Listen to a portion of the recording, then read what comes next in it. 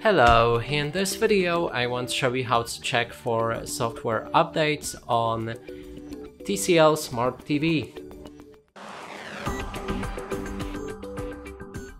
To do this, we'll need to click on uh, our settings button on the remote, enter the gear icon in the top right corner of the screen and here scroll down to the system.